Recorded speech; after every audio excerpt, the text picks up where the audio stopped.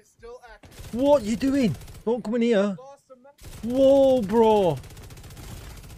Immediate medical assistance. Please leave. Oh no, reloaded, reloaded. Bad idea.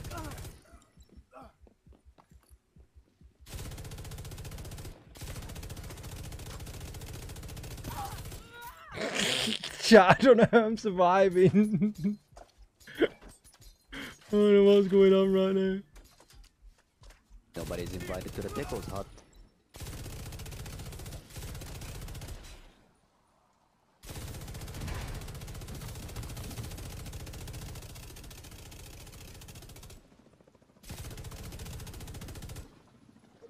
Uh oh. Uh, that gonna be that's the fucking chunga. I'm launching the drone. One shot. No, no, no, no, no, no, no, no, no, no. Not like these.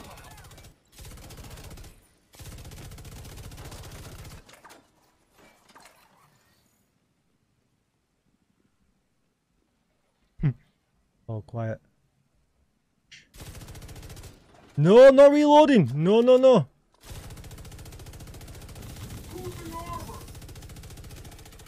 Bro, bro, bro, you cheating, you cheating, you cheating. Target's not dead.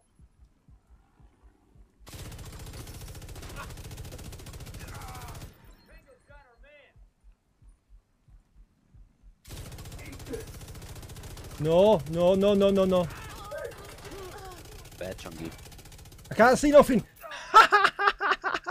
What's up agents and welcome back to another Division build video.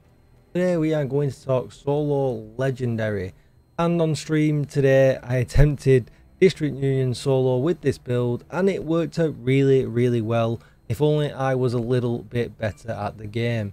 But before we get started be sure to hit that subscribe button, give this video a thumbs up and hit the bell so you are notified when I upload more Division videos. Even better, come on over to Twitch and say hi. I could be streaming live right now. And if you need a community Discord, there has never been a better time to join. You'll find the link down below in the description. And with all that said, let's get started. So, I don't know what it was. Today we jumped onto stream, we started talking about legendaries, and we just ended up hitting one up solo. Uh, and we kind of put together this build. We did make a few refinements to make it better after a couple of runs. Uh, but it just turned out really, really well. And really, it was all about getting some life back, getting some armor back, and uh, all that stuff like that. So, uh, assault rifle and LMG and the mag are what you're going to need here. Uh, it's pretty obvious to go for gunner because killing enemies grants you uh, 10% armor back. It's also really good because every third reload is 50% faster. If you're using an LMG as well, it's really, really good. Armor repair kit, it's the best armor repair kit in the game as well. Uh, we generate 10% of total ammo capacity every 60 seconds, which is nice, which really helps with running out of ammo because in Legendary everything's really, really tanky. And rate of fire is increased by 5% on kill. So it just makes Gunner a solid choice. 10% uh, weapon handling uh, while not moving, uh, which as well works out really, really well.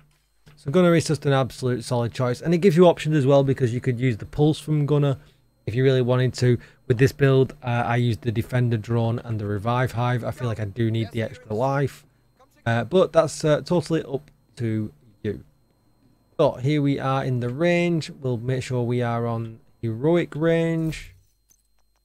Or people start shouting at me, but I'm not really going in here to show numbers or, or anything like that. Just really want to show you the build action. So, uh, up close. So as you can tell already, you can see I am using strikers. Uh, this is some headshot damage, and this is some body shot damage. Now, as you can see, uh, we are using the chest piece. That's why it's taking a little bit longer to go up. But uh, more often than not, with the dog, the mini tanks, the, uh, the chungas, I often felt that I was actually able to breach the 50% with the GR9. If I needed health back or a faster gun, I switched to my FAMAS. It just helped out a little bit more as well. I did have the busy little bee on me and I found myself not switching to it to get the bonus damage. Maybe I'll swap to the Scorpio as my secondary. Uh, that is for me to think about a little bit more. Uh, there is the build. It's really, really nice. I don't think I'm the first person to put this together. Chat seem to already have this kind of build together. Usually I'm an all red uh, kind of person. Uh, some people run it with three uh, reds and three blues, and some people run it with four um, blues as well. Uh, so you've got that, that option as, as well. Uh, but the guns were what really made the important choices here. The GR9 worked out really, really well. 250 in the mag. You could even drop the uh, the extended mag if you really wanted to uh, and go with either rate of fire or 20% reload bonus. Uh, it doesn't really take that, you know, it puts the mag to 200. It's still a lot of bullets and you still won't have any problems. One change I did make here, I went with the health damage in the bottom slot. It just made dogs, chungas, everything just a little bit easier. I tend to have an easier time uh, with using the health. You'll see down here, I've got another one uh, here with damage to armor, exactly the same. Uh, but the the talent made a lot of difference as well. I kept running out of ammo. Uh, it was a problem having to switch guns, but then we swapped to steady-handed. Uh, and hits granted a stack of 1% accuracy and stability. At 100 stacks, it consumed them to refill the magazine. And that's a free refill as well, which is is really, really good. I totally forgot about this talent. Not one I've used in a long, long time. And it is still as OP as ever. Secondary gun, I use the FAMAS with damage to target out of cover and health damage, uh, which is really, really nice. But I use preservation because if I got in a sticky spot, my plan was to switch to this gun to get some armor back a little bit quicker. And then the busy little bee just for 10% extra damage when I remembered to do it. And most of the time, I absolutely forgot to do it. Then we use the Belstone gloves. Now you could use the Belstone on the mask slot, you could use it in the holster slot, and you could use it in the knee slot and then just put four strikers in the other place. I just had a blue one uh, with crit chance and crit damage and armor regen for the brand set. That's why I wanted the 1%. 1% doesn't sound like a lot, but it really does make a difference uh, when you're just kind of sat chilling and you're getting your armor back and not and you're out of med kits. Uh, very important to have. Uh, I definitely want 1% in there somewhere.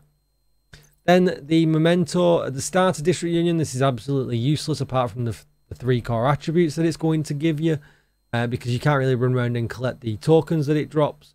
But after that, it's all all good. Uh, it comes with crit chance, obviously as an attribute, and then we get the weapon damage and the bonus armor from the kill confirmed from collecting the tokens that drop on the floor. I'm not going to read through it all. You've seen it all a million times before. Uh, then we're going to go with the strikers. We'll check out the chest piece first of all.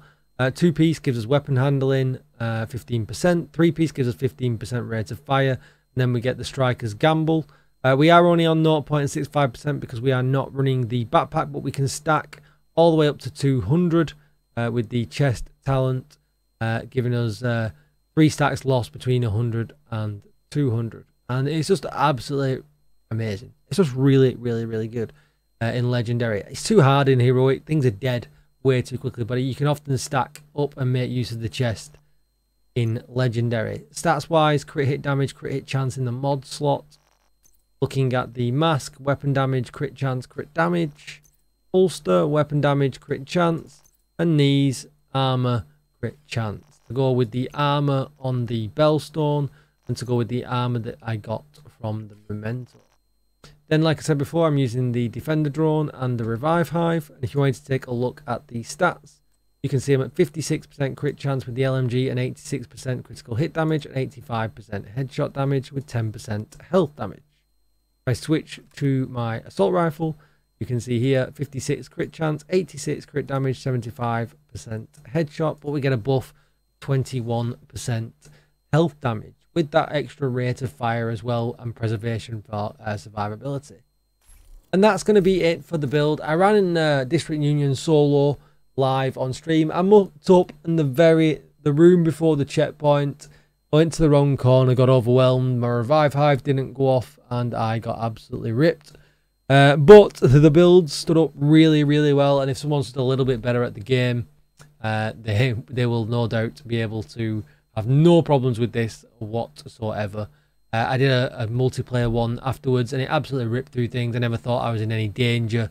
Survivability is really, really good. Everything's just really, really good. So let me know what you think in the chat. What have you been running in the chat, in the comments down below? I've been on Twitch. um, in the comments down below. What do you guys run? Solo legendary? What are you guys doing? Uh, I know skill builds are perfectly capable of doing it, but if you're running damage builds, are you going negotiators dilemma still? Uh, how uh, how are you guys doing it? Let me know in the comments down below. Don't forget to subscribe here and come over to Twitch and hit follow. I would really really appreciate it. Thank you for watching, agents, and I'll see you all in the next video. Goodbye.